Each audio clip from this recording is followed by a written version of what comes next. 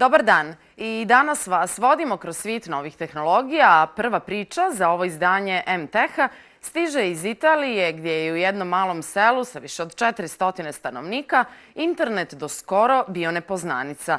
No nakon jedne originalne ideje, Civita Kampa Morano sada ima epitet mjesta u kome se živi internet. Civita Campo Marano, malo selo smješteno u provinciji Campo Basso, ima nešto više od 400 stanovnika, većinom starijeg životnog doba. Budući da je skoro kompletno izolovano od ostatka civilizacije, čak i mobilni telefoni, rijetko kada imaju signal u ovom mjestu.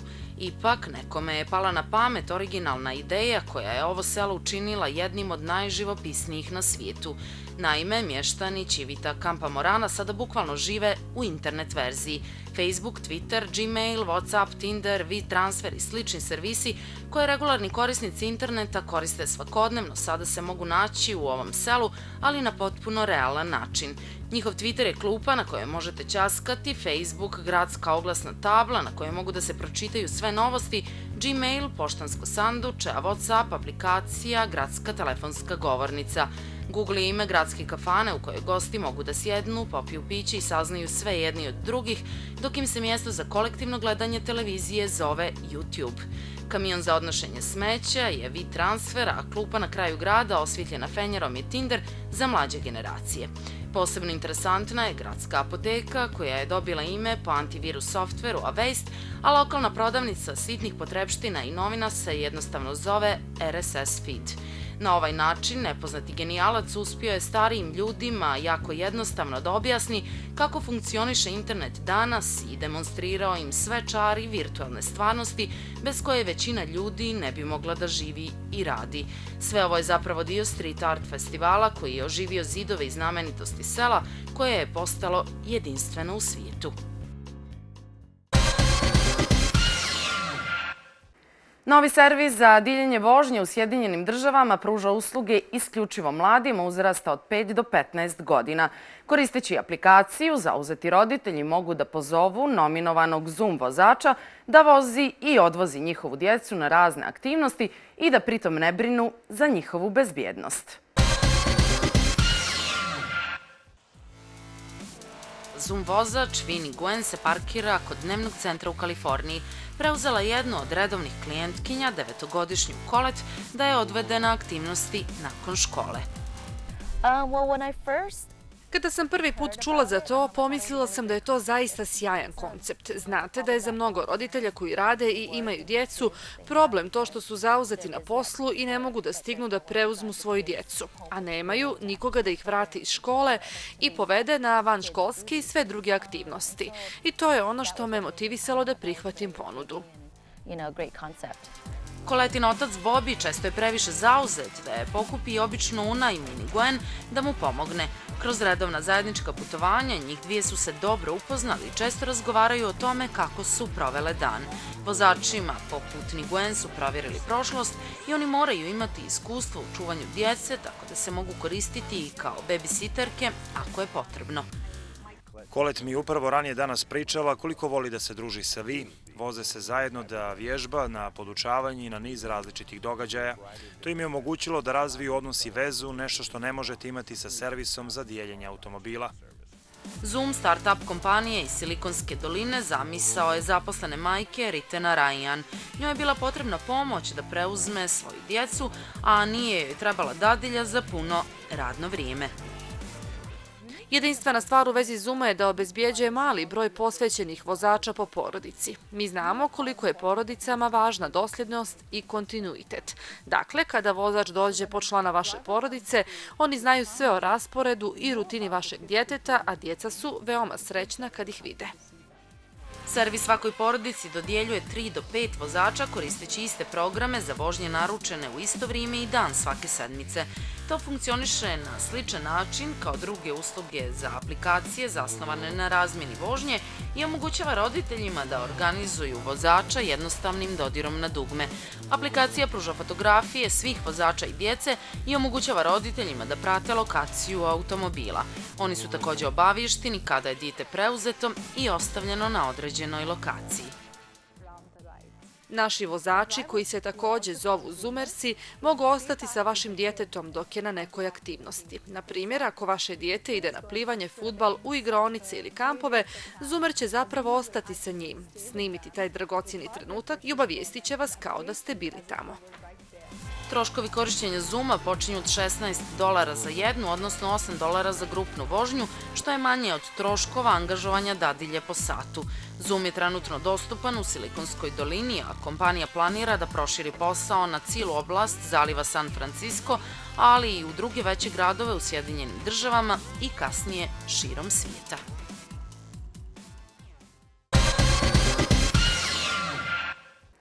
U današnjoj emisiji predstavljamo vam i PowerClean aplikaciju. Ako vaš Android telefon ili tablet nije toliko dobro potkovan internom ili RAM memorijom, šanse da brzo ostanete bez nje su velike. Ako ste u potrazi za aplikacijom koja će istinski brisati sve nepotrebne datoteke i aplikacije, onda je PowerClean naša preporuka. Nova Android aplikacija zvana PowerClean tvrdi da će vas koštati samo 1 ili 2 MB memorije vašeg telefona, što znači da ne zauzima mnogo prostora, a oslobađa ga na jedan efikasan način. Ono što je najbitnije, PowerClean čisti upravo one datoteke koje nepotrebno zauzimaju memoriju i koje otežavaju rad uređaja. Ne možete ručno odabrati datoteke i aplikacije koje želite obrisati, međutim nema ni potrebe za tim jer će PowerClean automatski obrisati svu nepotrebnu cache memoriju, folder sa preuzatim datotekama i ostalo što će osloboditi memoriju uređaja. Ono što je također prednost ove aplikacije je olakšana mogućnost brisanja istorije internet pregledača i sve uskladištene kopije teksta koje ste prethodno sačuvali. Power Clean detektuje aplikacije koje stvaraju pritnju po radu telefona i one koje su potencijalni virusi. Kako bi se Power Clean izdvojio iz mase i istakao kao jedinstvena aplikacija za održavanje telefona, on u svojih 2 MB koliko sadrži, ima i funkciju isključivanja suvišnih pozadinskih aplikacija koje usporavaju Android uređaj. PowerClean također možete poslužiti kao menadžer aplikacija. To vam omogućava da brzo i lako obričete aplikacije koje ne koristite često i pojedine preinstalirane aplikacije koje dolaze uz telefon, a vi uopšte ne želite da ih koristite. S obzirom da je cijela aplikacija u fokusu održavanja telefona i rasterećenja memorije, ona sadrži i opciju koja vam omogućava brzo i lako prebacivanje aplikacija na microSD karticu, Ta opcija također uveliko pomaže i postiče rastrećenje memorije, tako da vam savjetujemo da je uvek koristite kada preuzimate nekoliko novih aplikacija. To da je PowerClean pravi doktor za vaš Android, potvrđuje panel sa informacijama o tome zašto se telefon grije više nego što je predviđeno i koje su to aplikacije doprinijele pregrijavanju. Tu su i informacije o aplikacijama koje crpe bateriju i mnoge druge korisne za analizu i konstataciju problema. Avioindustrija pokušava da izbjegne predviđeni manjak pilota u narednih 20 godina zbog brze ekspanzije avionskih putovanja. Izložba u Istanbulu pokazala je da se više od stotinu kompanija za obuku nada da će napraviti industriju dostupnijom budućim pilotima.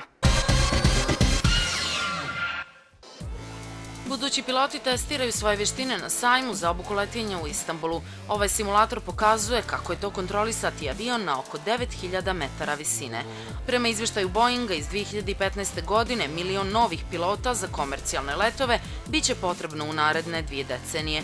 Organizatori ovog sajma kažu da se sektor avijacije brzo širi na Bliskom istoku i Aziji, gdje su kompanije uvećale svoje flote. Još uvijek osjećamo probleme vezano za krizu u Evropi. Dakle, mnogo aviokompanije je ugašeno, mnogo pilota je ostavljeno na zemlji, a oni imaju porodice koje moraju da hrane pa su potrazi za poslom bukvalno svugdje. To znači da piloti odlaze iz Evrope, a sve strane aviokompanije ih angažuju i zapošljavaju jako brzo. U zavisnosti od zemlje, prosječna cina za obuku pilota iznosi između 60 i 100 hiljada dolara i traje nekoliko godina. U najnovim istraživanjima u kompaniji Boeing iznijeli su podatak koji zapravo pokazuje da će u svijetu za 24 godine biti neophodno oko milion pilota, tako da to daje na značaj ustanovama za obuku pilota širom svijeta. Turska ima sedam aviokompanija, a u Istanbulu se gradi i treći aerodrom. Mnogi turski piloti dolaze iz vojske, ali Turkish Airlines također vodi sobstvenu školu za obuku pilota i posade. Simulatorima daju potpuno iste uslove sa kojima bi pilot mogao da se susretne upravljajući Airbusom A320 ili Boeingom 737. Imamo 4200 pilota koji lete za Turkish Airlines, a od toga 750 stranih pilota. Oko 1400 iskusnih pilota se prijavljuju za posao u Turkish Airlinesu svake godine i upravo sada imamo 350 pilota koji prolaze obuku u pilotskim akademijama Turkish Airlinesa. Također u našem centru za obuku imamo oko 50 pilota koji se obučavaju za specifične poslovne tipove vazduhoplova. Kursal Doganaj je 20-godišnji student na Istanbulskom univerzitetu. On pokušava da poboljša znanje engleskog jezika, što je jedan od uslova da postane pilot. Želim da postanem pilot jer je po meni to dobra profesija i u pogledu zaštite, a i prihodi su veoma visoki. Erak škola jedna je od najvećih privatnih ustanova za obuku pilota u Turskoj, a u kabini aviona neritko su i pripadnice ljepšeg pola. Kada sam napustila svoju zemlju u 2008. godini zbog ekonomske krize, otišla sam u Katar. U Kataru imaju dobre škole i dobre avione. Međutim, postoje neka ograničenja, jer sam žena. Dakle, mnogi učenici su odbili da lete sa mnom samo zato što sam žena. Pa sam tamo boravila godinu dana i nakon isteka tih godinu dana preselila sam se u Indoneziju. Međunarodna izložba letačke obuke održana je u Istanbulu od 6. do 8. maja.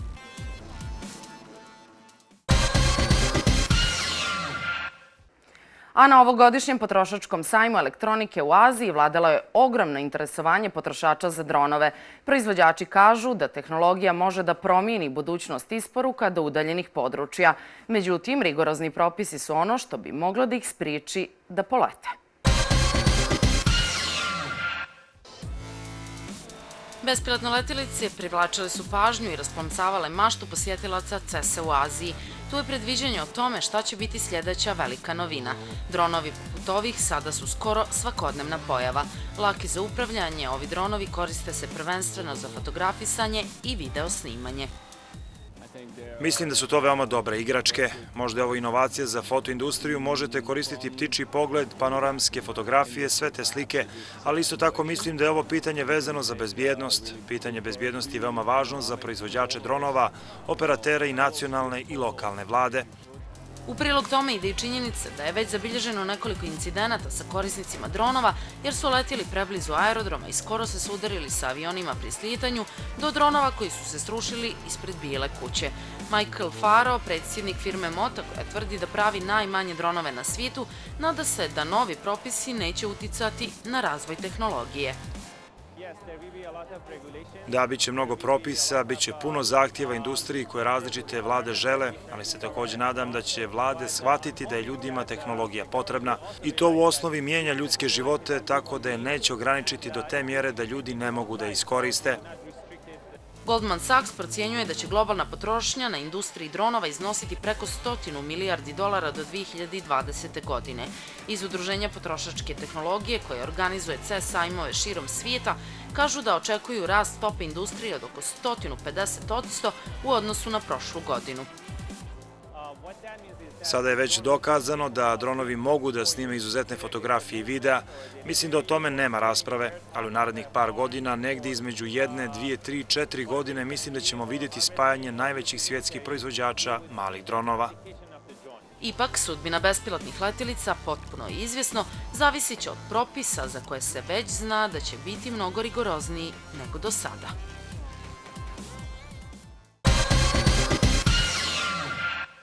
Tri studenta u Indoneziji stvorili su prvi humanoidni robot u zemlji koji je u stanju da odgovara na pitanja na indonežanskom jeziku.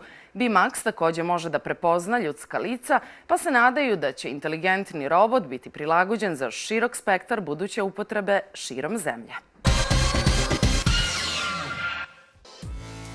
Ovaj robot se sastoji od dva sistema, sistema za kretanje robota i mini kompjutera pod nazivom Raspberry Pi, koji ga pokreće i može se smatrati mozgom. To je zapravo mikrokompjuterski model koji ima ulaz i izlaz na digitalnoj tabli. Mini kompjuter napravljen u Britaniji ima priključke za PC, monitor, USB, tastaturu i miša. Osim ova dva glavna sistema, robot također koristi Googleovu tehnologiju za prepoznavanje govora koja mu omogućava da komunicira na indonežanskom jeziku.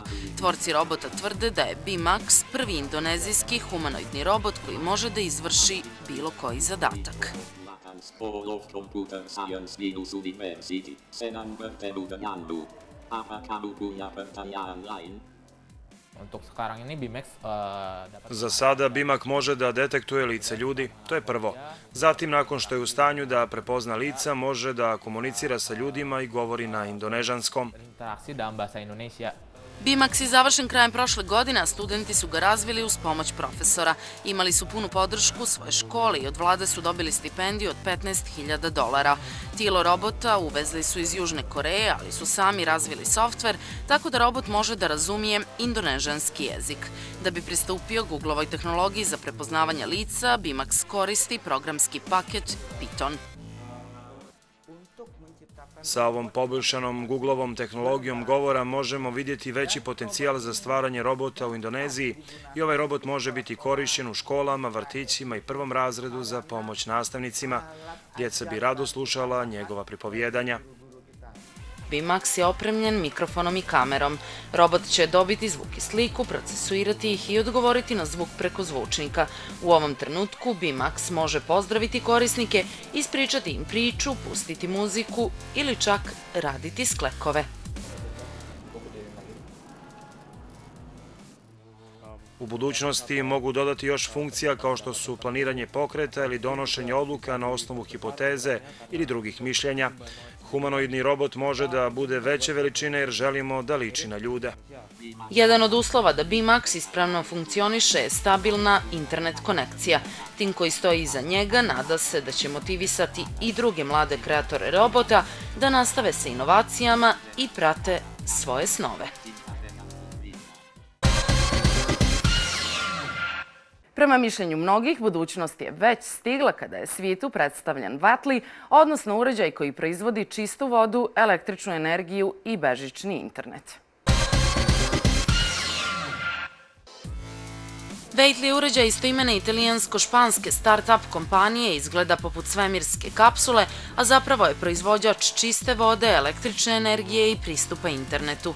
Veitli ima potencijal da promijeni ruralne predijele Afrike u kojoj živi više od 625 miliona ljudi, od kojih čak dvije trećine nema pristup električnoj energiji, a čak 40% nema čistu vodu.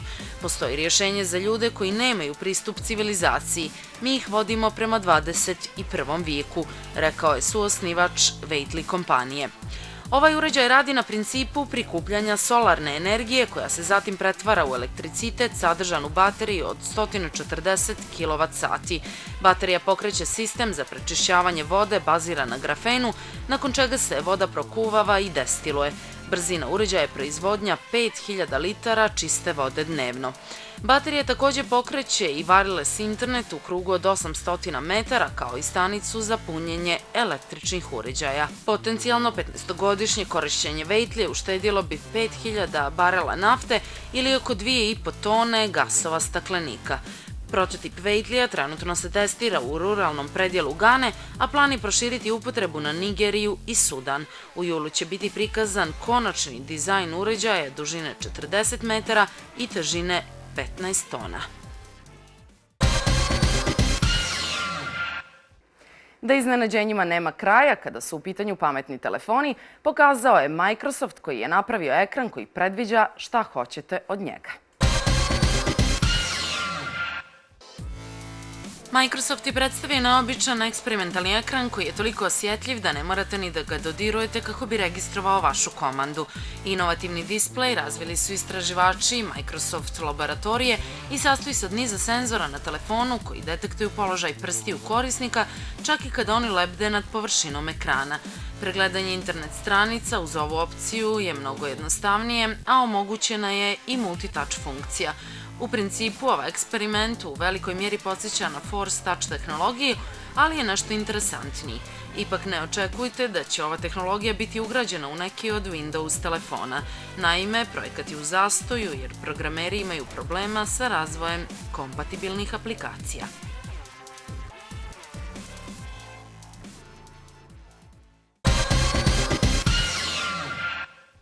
To je bio naš pogled na svijet novih tehnologija. Pratite nas u ustaljenom terminu srijedom od 17.15.